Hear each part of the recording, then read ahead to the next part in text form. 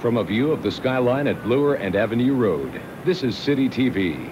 Everywhere.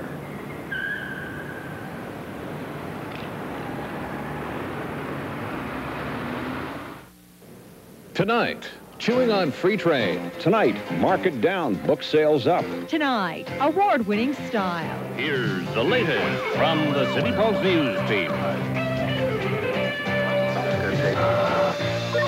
City Pulse tonight with J.D. Roberts.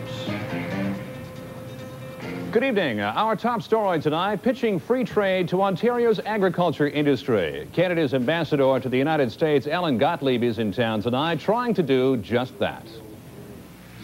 Agriculture is responsible for a full 10% of all economic activity in this country and is responsible indirectly and directly for well over a million and a half Canadian jobs.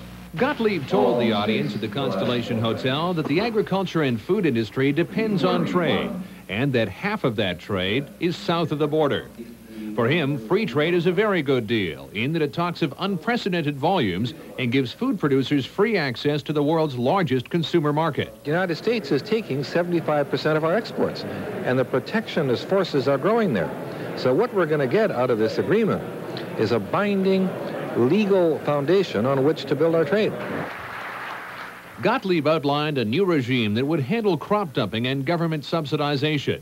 He said it would ensure neither country's subsidies would give them an unfair advantage in the other's marketplace.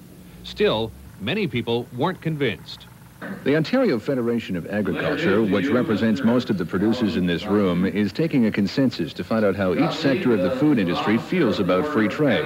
The final results aren't in yet, but the preliminary response is negative. They don't seem to have gotten to the point now where they're willing to admit that there's going to be losers, to itemize the degree of loss. And, you know, everybody keeps saying it's such a wonderful deal, there's practically no losers. And uh, that's not very conducive to a good analysis of what's happened here. But we're, we're very suspicious of that.